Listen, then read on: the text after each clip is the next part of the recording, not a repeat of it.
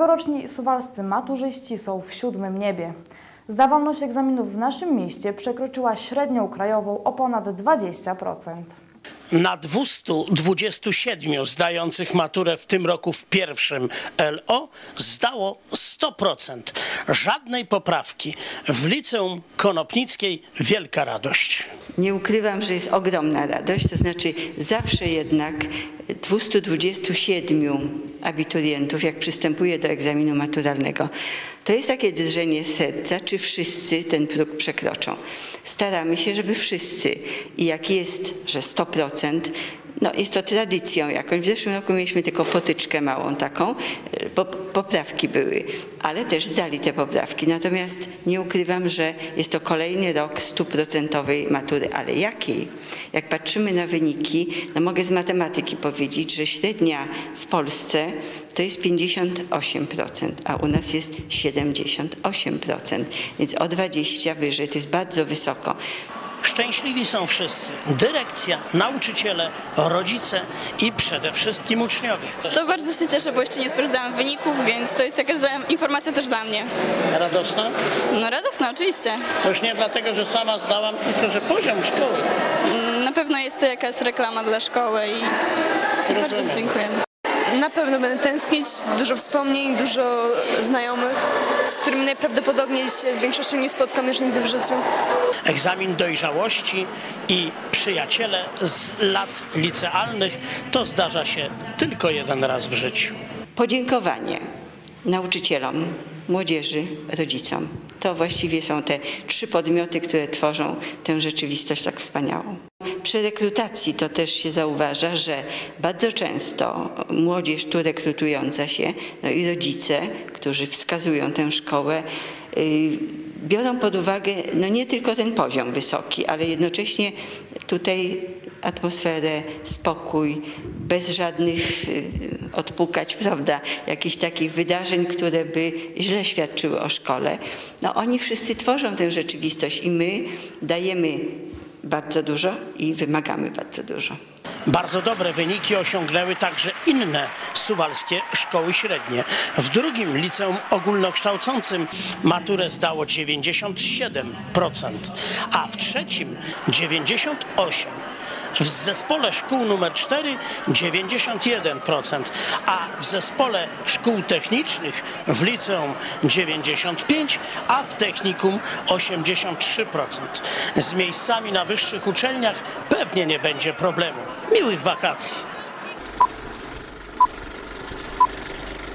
Władzom Suwałk znowu nie udało się sprzedać budynku po dawnym przedszkolu przy ulicy Młynarskiego. Nikt nie przystąpił do ogłoszonego na piątek przetargu. Była to już trzecia próba sprzedaży dwukondygnacyjnego budynku i półhektarowej działki na osiedlu Północ.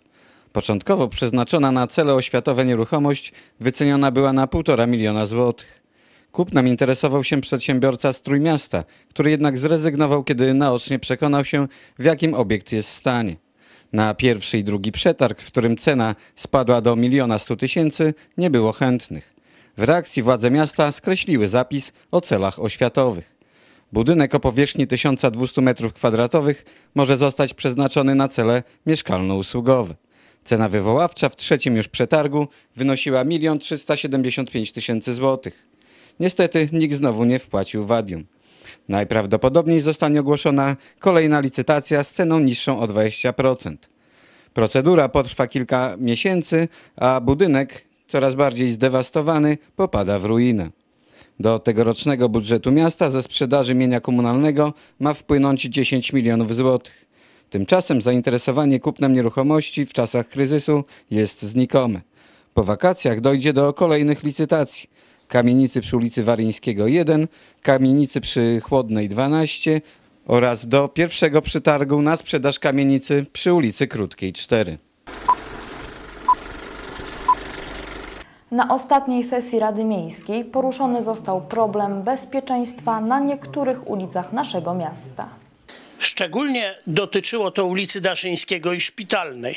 Naprzeciwko szkoły numer 11 został usunięty przystanek autobusowy bardzo ładnie, ale tam te młodzież szkolna, w tej chwili są wakacje, cały czas przez, tej, przez jezdnię przebiega i proszę, aby postawić takie zabezpieczenie od przejścia do przejścia, jak jest na ulicy Kowalskiego. Takie no, barierki ją ustawić.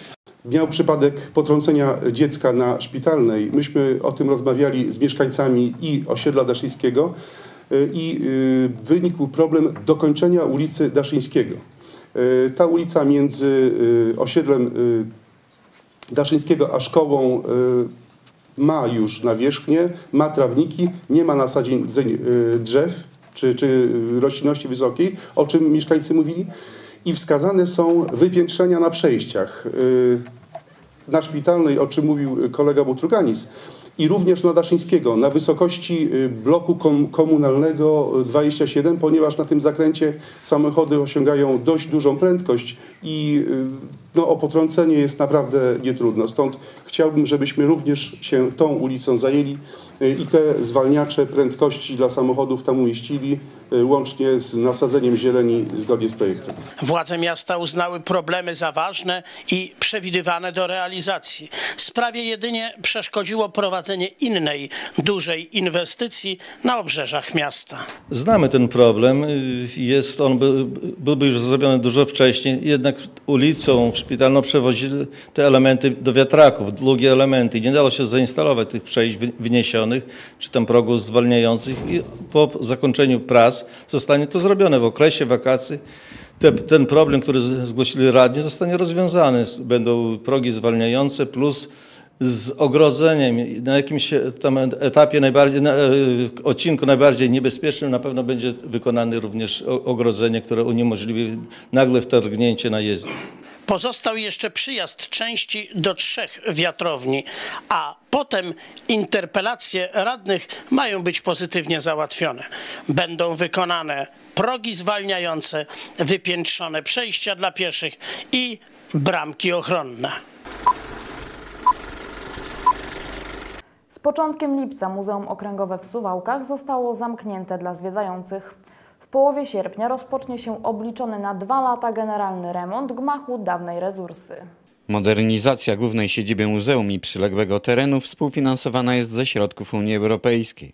Przetarg na wyłonienie wykonawcy, co ostatnio w Suwałkach jest wyjątkową rzadkością, rozstrzygnięty został bez protestów, odwołań i sądowych skarg. Myślę, że to trochę szczęście, ale przede wszystkim też dobre przygotowanie e, dokumentacji przetargowej. Dość długa procedura ta między ogłoszeniem przetargu a e, rozstrzygnięciem wyniku, gdzie było naprawdę dość dużo pytań e, przez potencjalnych uczestników przetargu zadawanych. Udało nam się doprecyzować wiele jakichś takich nieścisłości, które były w dokumentacji i prawdopodobnie to zadecydowało o tym, że jakby ostateczne rozstrzygnięcie przetargu nie miało dalszych konsekwencji w postaci protestów. E, Udało nam się to, e, ten przetarg rozstrzygnąć i e, wręcz już podpisać umowę z wykonawcą prac. W przetargu uczestniczyło sześć podmiotów. Protestów do rozstrzygnięcia nie zgłosiło ani suwalskie Pribo, które żądało pół miliona więcej od zwycięzcy, ani tym bardziej białostocki Anatex, który chciał tylko 90 tysięcy więcej. Wykonawcą remontu będzie konsorcjum budowlane Konzbud w Suwałkach za cenę 7 milionów 405 tysięcy złotych. To kwota o 2 miliony 300 tysięcy niższa od kosztorysowej. Myślę, że nie ma takiego zagrożenia, że, że, e, że coś tu będzie nie tak. Wierzymy, no, firma jest doświadczona, ma za sobą rzeczywiście długą listę e, prac na poważnych budynkach, e, w tym budynkach zabytkowych w mieście i, i w regionie i nie tylko. Generalnie proporcje są takie, że w stosunku do tych kosztorysów e, początkowych e, te kwoty przetargowe mniej więcej tak się, tak się układają. Martwiłbym się, jakby, jakby ta kwota była jeszcze o 2 miliony niższa, bo wtedy rzeczywiście e, byłaby to kwota taka trochę wzięta z sufitu. Natomiast tutaj e, po rozmowach z prezesem firmy e, dowiedziałem się, że rzeczywiście bardzo, bardzo solidnie, a jednocześnie oszczędnie konstruowali ten kosztorys tak, żeby rzeczywiście wyjść na te koszty i żeby to były koszty realne. Zgodnie z projektem złożonym do dysponującego unijnymi pieniędzmi regionalnego programu operacyjnego, wykonawca miał rozpocząć remont na przełomie sierpnia i września i zakończyć go za dwa lata. Już po rozstrzygnięciu przetargu e, wykonawca złożył nam swój harmonogram prac. W związku z tym, ponieważ zmieni się i kwota ogólna, i kwoty y, jednostkowe poszczególnych poczynań, y, w najbliższym czasie y, przewidziane są też korekty tego harmonogramu w uzgodnieniu z wykonawcą. Wstępne ustalenia są takie, że przekazanie placu budowy nastąpi 17 sierpnia, to jest akurat poniedziałek, i od tego dnia powinien ten remont fizycznie się zacząć, a my mamy y, dokładnie półtora miesiąca na ostateczne wyprowadzenie się z tego budynku. Podczas remontu głównej siedziby miejscem wystaw będzie Muzeum Marii Konopnickiej. Z początkiem lipca ruszy budowa boiska przy szkole podstawowej nr 7. Z braku pieniędzy inwestycja ta została podzielona na etapy. Na plac budowy firma ze Szczecina wchodzi już niebawem. Wszystko jest przygotowane, mówi inżynier Zygmunt Szutkiewicz z Miejskiej Dyrekcji Inwestycji. Z początkiem lipca szczecińska firma, która wygrała przetarg, przystąpi do budowy e, e, dużego boiska piłkarskiego w, zespole, w- w kompleksie szkoły podstawowej nr 7. To kolejny obiekt sportowy o sztucznej nawierzchni w naszym mieście. Jest to boisko o nawierzchni strawy syntetycznej, e, o konstrukcji podobnej jak e, przy szkole numer 11. E, Powierzchnia 4900 m2. Boisko to będzie wyposażone w piłkochwyty i w urządzenia, bramki. Mm, cały y, kompleks szkoły będzie wyposażony w nowe ogrodzenie. Wokół boiska będzie również oświetlenie i kilka punktów monitoringu. Nie jest to tania inwestycja, jednak na zdrowym wychowaniu młodzieży nie należy przesadnie oszczędzać. To nasza przyszłość. To już będzie y, w kolejnych etapach, wtedy kiedy pojawią się możliwości finansowe.